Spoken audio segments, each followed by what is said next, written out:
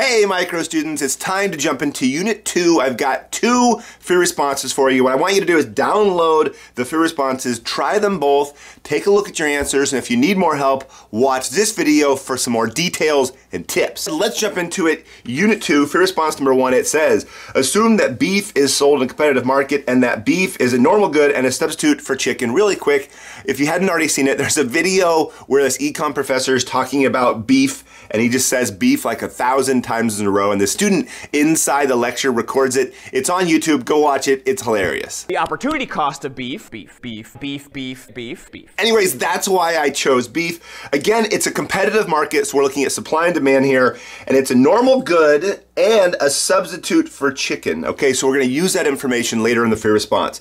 In A, draw correct labeled market for beef, show equilibrium price for beef labeled PE and QE respectively. All right, let's draw it, supply and demand.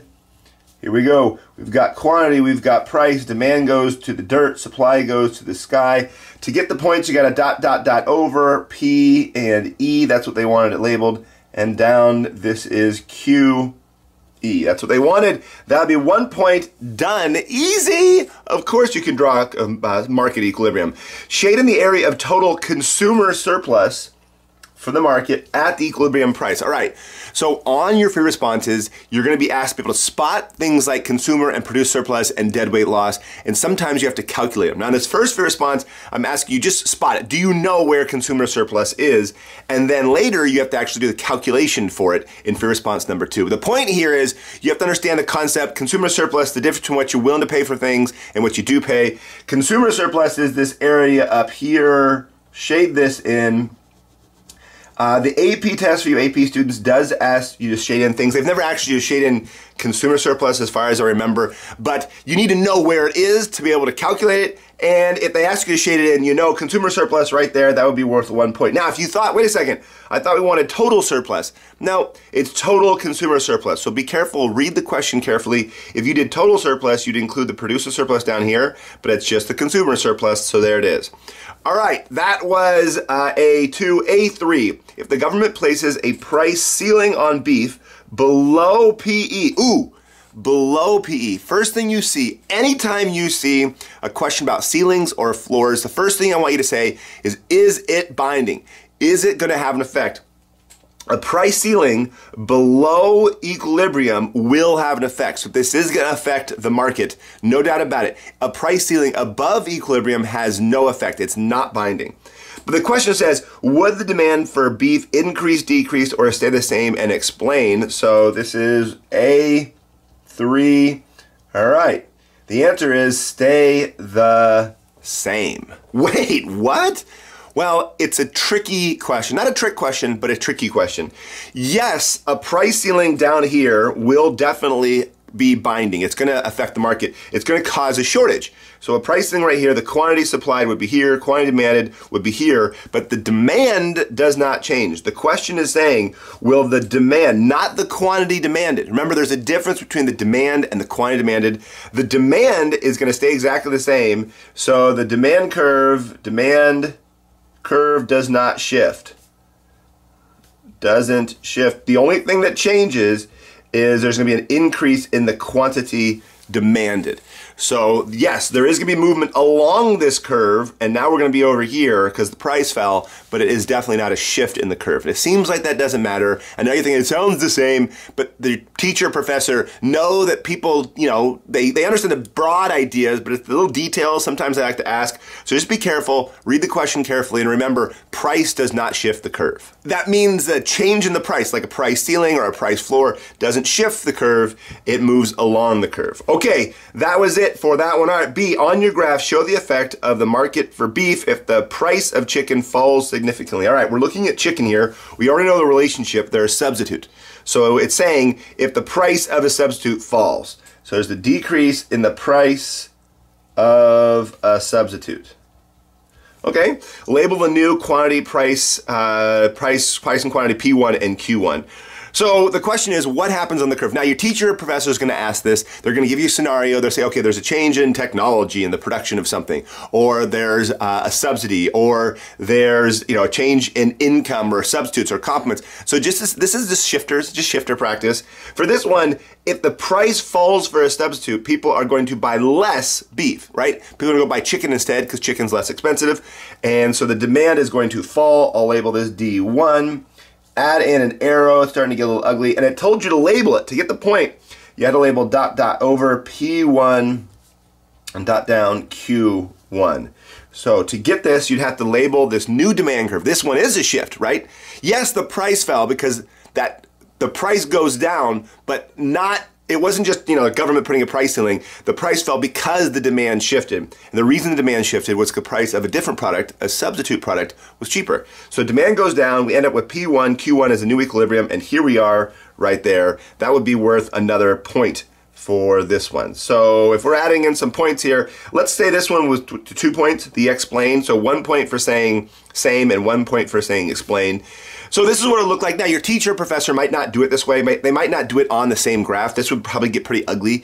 I just did it on the same graph, you know, why not? But your teacher might say redraw the graph over again and then show what happened with this scenario or that scenario. The point is you gotta remember there's only four things that can happen. Demand can go up, demand can go down, supply can go up, a shift to the right, or supply can go down. And basically just make sure you know what the shifters of demand and supply are.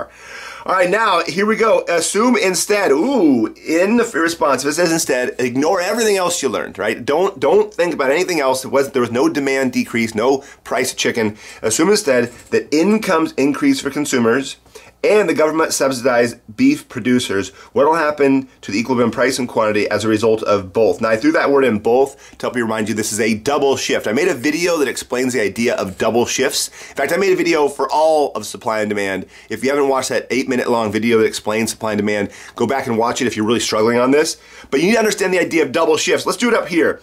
A double shift, right? For here's quantity, here's price, here's demand, here's supply. I just want to know what happens to price and quantity. They're not asking for the graph here. They're just saying what's what's going to happen to the price and quantity.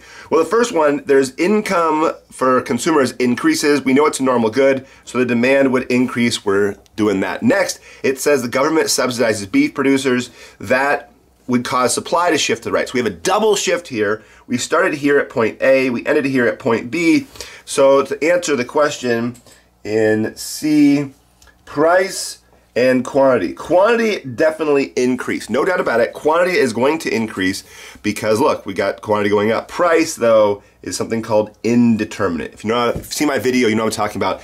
It might go up, it might go down. It depends on the severity of these shifts. The, the key here is that you need to explain, and that's worth another point, you need to explain this idea of it depends on the severity of the shift. So for the explain part, I'll just make sure you, I'll write explain like, make sure you explain this idea that, um, you know, when there's a double shift, right, we can't tell what's going to happen to the price because it might go up, might go down, depending on the severity of shift. Or you can break it down and say, okay, an increase in demand, price would go up, quantity would go up. A increase in supply, price would go down, quantity would go up. So quantity is going to go up no matter what. The price, it might go up, it might go down, we don't know. So let's make this worth two points. You had to have indeterminate, quantity goes up, that'd be one point, and then that explain as well. Make sure you recognize this was a double shift. All right, in D. In D, now it says assume the total revenue for chicken producers increased. So total revenue went up when the price of chicken, price of chicken fell. We ended up a situation where the price went down and the total revenue went up. That means the demand is relatively elastic. I'll just circle that, relatively elastic.